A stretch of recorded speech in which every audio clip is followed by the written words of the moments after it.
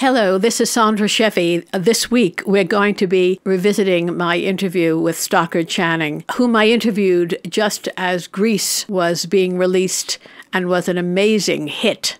I was not encouraged to do this interview. The interview was done as part of the writing I was doing for the Hearst newspapers, uh, Sunday Woman.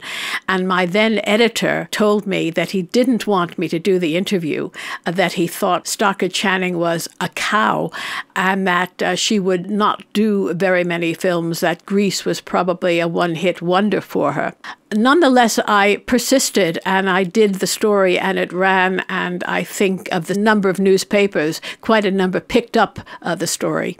I also knew Alan Carr, who produced I think the play, but certainly the film. And as Stockard says in the interview, a tender, loving care was visited upon this uh, film, which is why uh, it is such an enormous, iconic hit.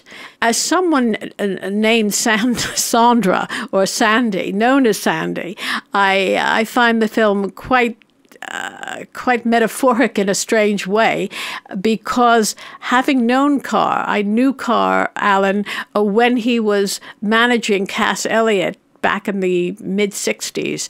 And my own saga, in many ways, is a corollary uh, to the uh, plot of the film. I had come out to Los Angeles. I was going to be married. So I find the whole scenario quite an amusing one. Anyway, getting back to Stockard Channing, I hope you enjoy the interview.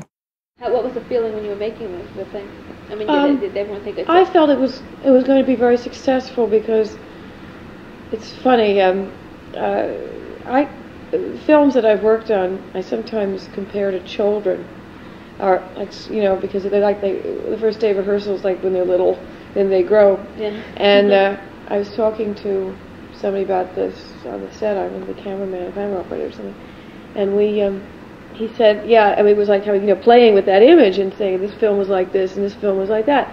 And if ever there was the classic uh, uh, Jewish prince of all time who had every advantage, was pampered, from the day one, nothing but the best. It was Grease, you know. I mean, it, nothing but the best. Um, every detail was supervised by Alan. You know, what I mean, I've been in other pictures uh, where it, you know, which weren't successful. Um, which was truly, you know, the the bastard child of all time uh, by the studio, you know. And this was not like this. This picture was uh, handled with tender, loving care by everybody involved in it and fussed over. Um, I'm talking about the uh, you know, administrator, the producer, the, the choreographer, whatever. It came off of a very successful Broadway. Yes, play. it did that, yeah. but.